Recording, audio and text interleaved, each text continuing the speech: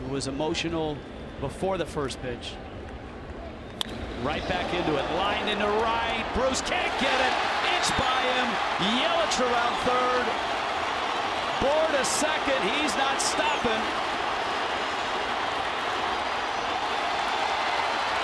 Six nothing.